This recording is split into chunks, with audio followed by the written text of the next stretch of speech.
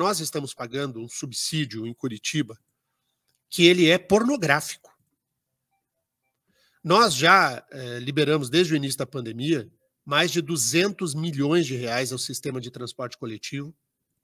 Nesta semana foi aprovado um remanejamento de mais 40 milhões e todo mês a prefeitura de Curitiba paga 15 milhões de reais por mês para a renovação da frota, valor que já, já está embutido no valor da tarifa e nós estamos pagando com bis in idem, em dobro a população de Curitiba hoje está sendo roubada. Estão metendo a mão no bolso do povo de Curitiba para sustentar o sistema de transporte coletivo.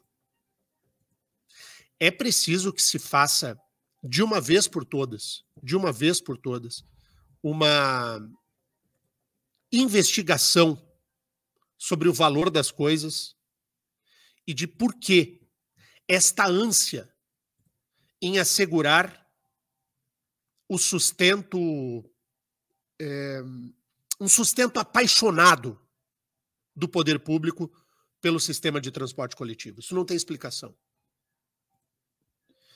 Você aí do outro lado do rádio, que está procurando um amigo, que quer ter um amigo de verdade, tenha um amigo, busque um amigo, que seja seu amigo, como a Prefeitura de Curitiba é do sistema de transporte atravessa o país, vai a Brasília para pedir por você. É impressionante. Nós estamos diante de um escândalo. Há uma movimentação para mais subsídio, a fim de sustentar um sistema que, além de, de não cumprir a contento o que se espera do sistema de transporte coletivo, nos custa muito caro. A prefeitura poderia, pelo que diz o próprio contrato, revisar as regras e mesmo romper esse contrato e fazer um novo. Mas não. É corre para atender. É algo que uma hora eu espero que o Ministério Público faça uma apuração aprofundada desta relação que não é positiva entre o poder público municipal e os empresários do sistema de transporte coletivo de Curitiba. Todos os Todos, todos, todos, todos os projetos que envolveram dar dinheiro para o ônibus, eu votei não. Todos.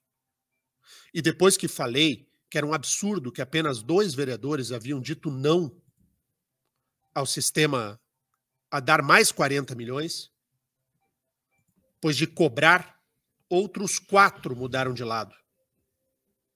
E hoje são seis. E deu.